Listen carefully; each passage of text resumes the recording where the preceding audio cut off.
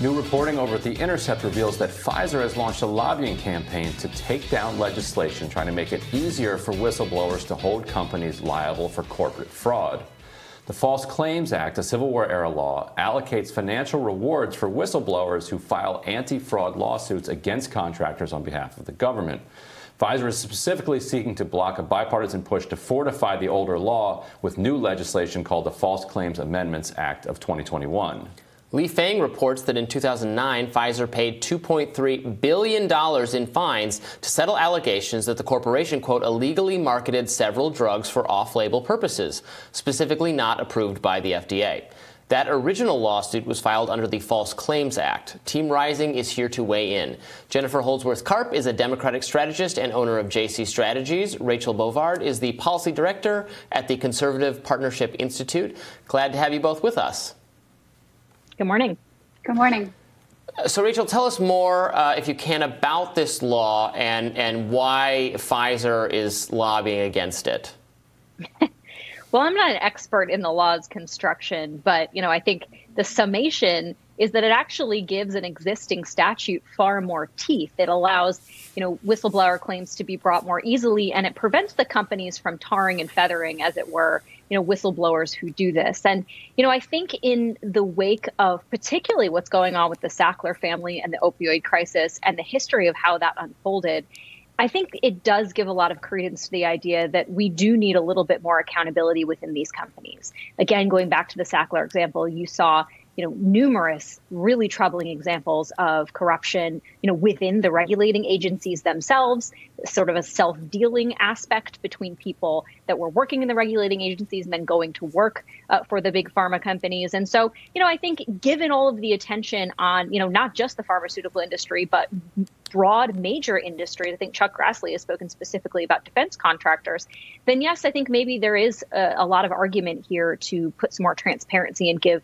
a little bit more muscle to a law that's, again, been on the books for a while, but perhaps needs some updating. Yeah, and, and Jennifer, it's, it's, it's an interesting interplay between the courts and, and the legislature here because it really is a, a, brilliant law the way it was written. You know, the uh, Civil War era saw a lot of really interesting laws be produced, and this one says okay, how are we going to find out if this contractor is bilking the government? And like, and they come up with this very elegant solution that if you know somebody inside the company sees that their company is bilking the government, they get it, they get a cut of it.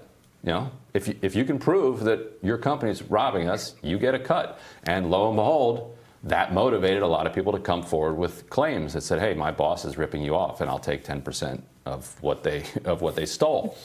Uh, over the years, over the last 10, 15 years, the courts have really stripped the teeth out of this law and have said that look, if the federal government continues to work with this contractor uh, after the fraud you know, has been raised, then the federal government didn't really care about the fraud. So therefore, it's not fraud, and therefore the claim gets tossed out. It's it's an, it's absurd, and it and it misunderstands the way that power works in Washington. Of course, the government is going to keep paying Halliburton even if it's defrauding it. You know, that's the that's the point. So what this law would do is to say no, like fraud is fraud. Uh, so, uh, Jennifer, what's, what's your sense of whether whether or not there's enough you know, momentum behind this idea uh, that we could see this actually become law? Uh, I don't think there is enough momentum behind it, but I think there should be, and I think that uh, a lot of folks are going to start getting some real pressure on the Hill to make sure this is passed. The, court case that uh, uh, essentially established materiality, which is what you were referring to, if uh, the fraud isn't material to the contract that is ongoing with the government because they're continuing to pay them, well, then it must not have been that important, and therefore, um, you know, they don't have to pay it. They don't have to, you know, they don't have to dismiss the contract. But he, I think we're missing for the forest, the forest for the trees here. Now, obviously, this is very, very focused on uh, pharma, considering what's happening with Pfizer right now. But more broadly, you know, civil penalties and fines that companies are paying are not having the intended consequences that we collectively want them to have. Sure, they pay them out of pocket, their stock price takes a hit for a couple of days. The executives that perpetrated the fraud already have their millions in the bank and they move forward. There's no criminal penalties for any of the company leaders in any of the industries that are doing this and that are perpetrating it against the government. In fact, it's the money and the fines that they're paying are not even coming out of their pocket. It's coming away from their shareholders and, and, and their company's bottom line. So the way this is set up is entirely wrong more broadly, but specifically around uh, this particular law. Um, I think it's very interesting that it, that it's fully bipartisan, and I believe that it passed out of the Judiciary, Judiciary Committee with something like 15 to 7, which is very unusual these days in terms of how we can collectively agree on an issue. So I think you're going to see more pressure moving forward for that materiality piece to be taken out of this uh, uh, out of this law.